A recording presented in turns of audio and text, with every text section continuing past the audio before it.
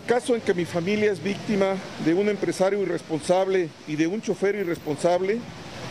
la nueva ley y la forma en que se calificó el crimen que cometió impide que este asesino esté en la cárcel. Ya está libre, porque el asesinato culposo que es como que se, calificó no se considera grave y porque a través de una fianza que depositó el seguro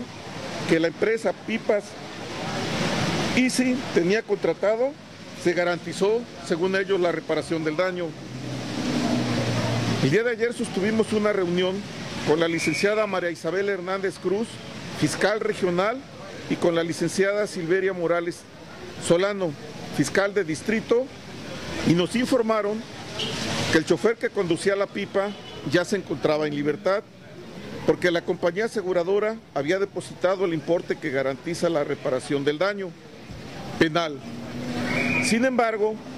para que los familiares reciban el importe que establece la ley, debemos estar conscientes que el chofer ya no será sujeto de condena alguna, a menos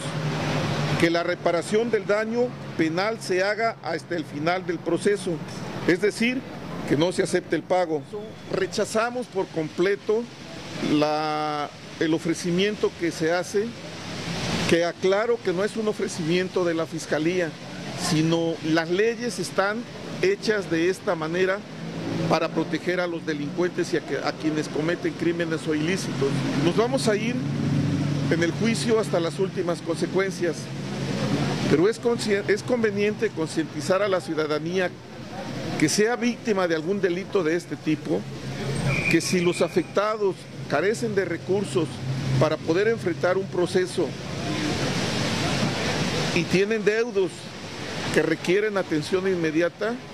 seguramente tendrán que renunciar a la justicia y a quien les haya causado daño, verlo libre pasear por las calles como si no hubiese ocurrido nada. Esa es la nueva justicia penal que aprobaron